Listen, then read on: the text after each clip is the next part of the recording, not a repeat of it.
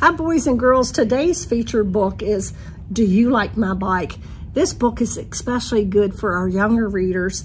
It's about a little hedgehog that got a brand new bike and he, he wants to go ride his bike and he can't find his helmet. Boys and girls, and we know you've got to wear a helmet to keep yourself safe when riding a bike.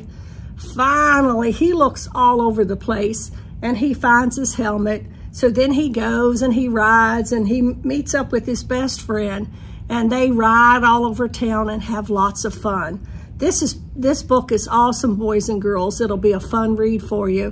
One of the special things I really liked about it too was in the back. It uh, shows you how to draw a hedgehog. So if you like to draw, it gives you every step in how to draw that hedgehog.